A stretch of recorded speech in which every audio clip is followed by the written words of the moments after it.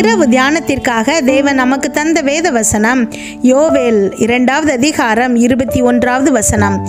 தேசமே பயப்படாதே மகிழ்ந்து கலிகூறு கர்த்தர் பெரிய காரியங்களை செய்வார். கிறிஸ்துவுக்குள் பிரியமானவர்களே தேவன் இன்று இதை கேட்டுக்கொண்டிருக்கும் உங்கள் ஒவ்வொருத்தரையும் பார்த்து மகிழ்ந்து களி கூறுங்கள் அப்படின்னு சொல்கிறாரு ஏன்னா அவர் உங்கள் வாழ்க்கையில் பெரிய பெரிய காரியங்களை செய்ய போகிறார். நம்ம தேவனை துதிச்சிட்டு இருக்கும்போது எல்லா உயிரினங்களும் நம்மளை சுற்றி இருக்கிற எல்லா உயிரினங்களும் சூழ்நிலைகளும் அதை உணர்ந்து நமக்கு சார்பாக செயல்படுமா நாம் தேவனை துதிக்கும் போது படைப்புகள் யாவும் நமக்கு சாதகமாக செயல்படும். எனவே உங்கள் வாழ்க்கையில் ஒவ்வொரு தருணத்திலும் மகிழ்ச்சியாயிருங்கள் தேவனை துதியுங்கள்.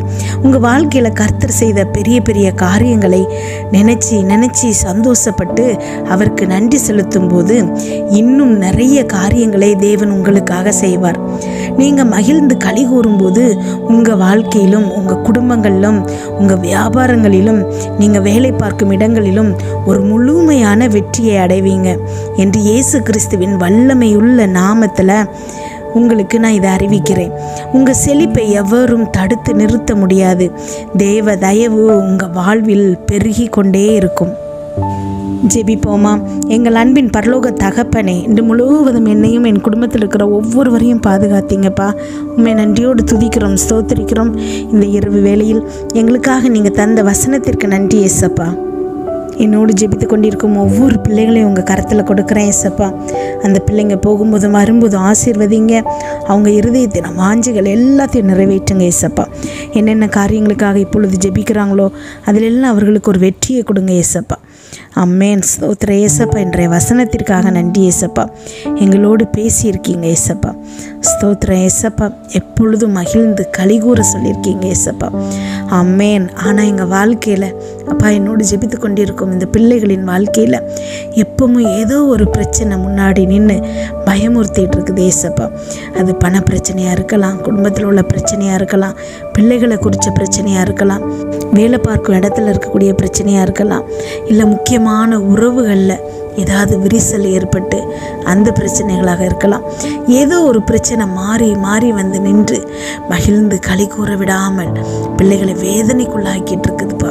ஆமேன். கண்ணீரோடு இப்பொழுது ஜெபிக்கிறாங்க ஏசப்பா. எப்படி நான் இந்த பிரச்சனையிலேருந்து வெளியில் வருவேன்? இந்த பிரச்சனைக்கு என்னதான் சொல்யூஷன் நான் இந்த வழியில் போனால் இதை சரி பண்ணிடலாமா அந்த வழியில் போனால் நான் இதை சரி பண்ணிடலாமா யாராவது எனக்கு உதவுவாங்களா? என்று ஏக்கத்தோடு காத்துட்ருக்காங்க ஏசப்பா. அவங்க இருதயம் முழுவதும் எப்படி நான் இதிலேருந்து தப்பிப்பேன்?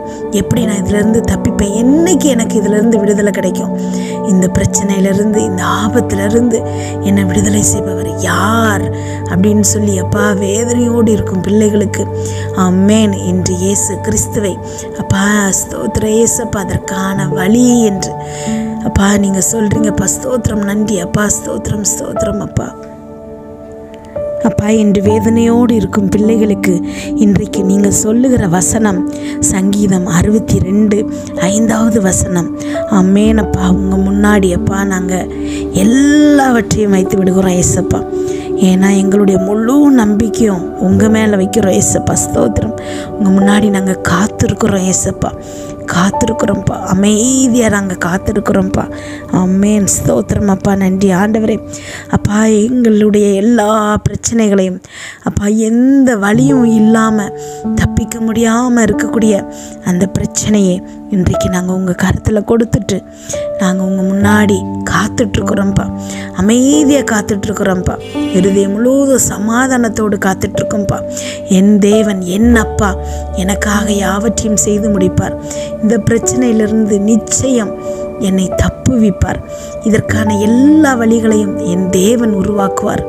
என்று அப்பா நாங்கள் காத்து காத்துட்ருக்குறோம் ஏசப்பா நாங்கள் அப்பா ஸ்தோத்திரம் எங்கள் முழு நம்பிக்கை உங்கள் மேலே வச்சுட்டோம் ஏசப்பா இனி நாங்கள் மகிழ்ந்து களி கூறுவோம்ப்பா எங்கள் முன்னாடி இருக்கிற பிரச்சனை இப்போ எங்களுக்கு இல்லை ஏசப்பா ஸ்தோத்திர ஏசப்பா அது உங்கள் கையில் வந்துருச்சுப்பா. உங்கள் முன்னாடி அப்பா உங்ககிட்ட நாங்கள் கொடுத்துட்டோம்ப்பா இனி எங்ககிட்ட இல்லை. நான் எதை குறித்து இப்பொழுது இவ்வளோ நாளை நான் கவலைப்பட்டுட்டு இருந்தனோ இனி அந்த பிரச்சனையை குறித்து ஒரு செகண்ட் கூட நான் கவலைப்பட போகிறதில்ல ஏன்னா அதை என் தேவன் பார்த்து கொள்வார் என் தேவ தேவன் அதை எனக்கு சரி செய்வார். என் தேவன் என்னை அதிலிருந்து தப்புவிப்பார் என் தேவன் எனக்கு புதிய வழிகளை உண்டு பண்ணுவார். என் தேவன் என் திறமைகளை வளர்ப்பார். என் தேவன் என்னை தகுதியாக்குவார். அம்மேன் என்னை மிக மிக நேசிக்கிற என் தேவன் எனக்காக யாவற்றையும் செய்து முடிப்பார். அப்பா இந்த சமாதானம் எங்கள் இருதயம் முழுவதும் இப்பொழுது நிரம்புகிறமைக்காய். நன்றி ஏசப்பா. எங்கள் முழு நம்பிக்கையும் நீங்கள் ஏசப்பா. எப்போ நாங்கள் முழு நம்பிக்கை உங்கள் மேலே வைக்கிறோமோ இனி எங்களுடைய வாழ்க்கையை ஒவ்வொரு செகண்டும் நாங்கள் சந்தோஷித்து மகிழ்ந்து கலிகூர்ந்து அனுபவிக்கிறோம் ஏசப்பா. உண்மை துதிக்கிறோம் ஏசப்பா எங்கள் வாழ்க்கையில் நீங்கள் செய்த செய்கிற செய்ய போகிற ஒவ்வொரு நன்மைகளுக்காகவும் உமக்கு நன்றி கூறுகிறோம் அப்பா. நன்றி கூறுகிறோம் அப்பா. ஸ்தோத்திரம் ஏசப்பா. மகிழ்ந்து களி கூறுகிறோம் ஏசப்பா. ஒன்றொன்றாய் நினைத்து நன்றி கூறுகிறோம் ஏசப்பா. எங்கள் வாழ்க்கையில் நீங்கள் செய்த ஒவ்வொரு நன்மைகளுக்காகவும் உமக்கு நன்றி கூறுகிறோம் அப்பா. ஸ்தோத்திரம் அப்பா. ஸ்தோத்திரம் அப்பா. ஸ்தோத்திரம். கண்மணி போல் பாதுகாத்தீங்க ஏசப்பா. உன்னை தொடுகிறவன் என் கண்ணின் மணியை தொடுகிறான்னு சொல்லியிருக்கீங்க ஏசப்பா. கண்மணியை எவ்வளவு பத்திரமாக பாதுகாக்குது அந்த இமை.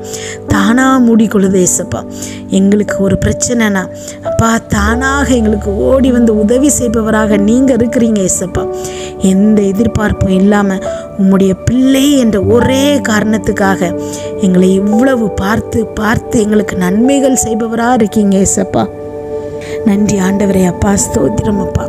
எங்கள் இருதயம் மகிழ்ந்து களி கூறுகிறது ஏசப்பா எங்கள் வாழ்க்கையில் நீங்கள் செய்ய போகிற பெரிய பெரிய காரியங்களுக்காக உமக்கு நன்றி.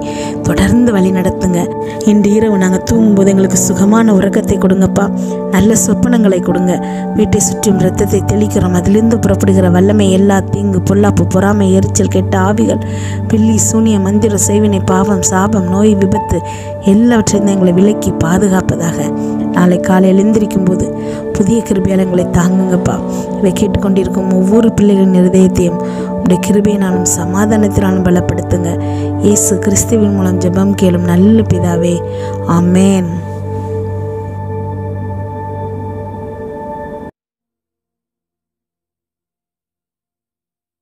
இயேசுவே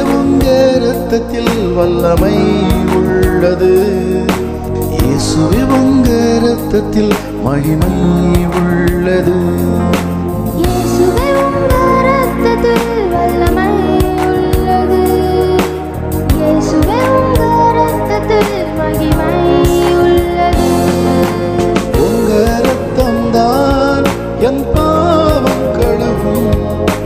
உங்க ரத்தம் தான் என்னை மீதிமானாக்கும்